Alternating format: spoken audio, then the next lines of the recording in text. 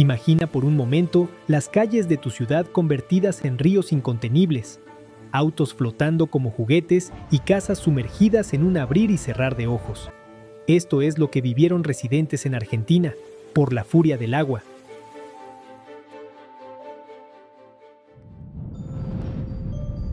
Intensas lluvias azotaron a Argentina, causando graves inundaciones que marcaron la noche del jueves y la madrugada del viernes. En Córdoba, un vehículo fue arrastrado por las aguas del río Suquía.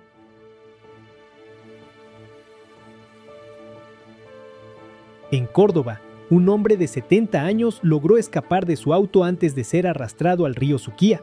Los vecinos le prestaron auxilio y afortunadamente el conductor resultó ileso. La situación en Obispo Trejo fue caótica con calles anegadas y propiedades dañadas.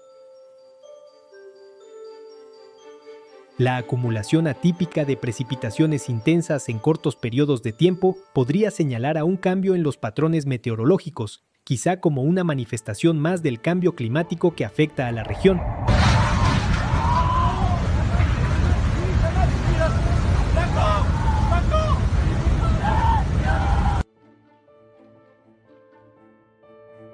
El conductor en Córdoba fue rescatado, mientras que las calles de Obispo Trejo y la Ruta 17 sufrieron cortes.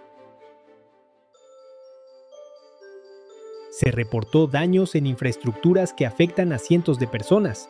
Además, la interrupción de las rutas de acceso complica la distribución de ayuda y la evaluación de daños. Obispo Trejo ha experimentado inundaciones anteriormente, como en los años 2014 y 2015, donde se registraron caídas de hasta 200 milímetros de lluvia, La fuerza de la naturaleza se hizo sentir una vez más en Córdoba, recordando la importancia de la prevención y la respuesta rápida ante desastres naturales. Tu punto de vista puede enriquecer esta información. Por favor, comparte tu opinión en los comentarios. Mi nombre es Eje. Nos vemos más adelante con mucha más información. Chao, chao.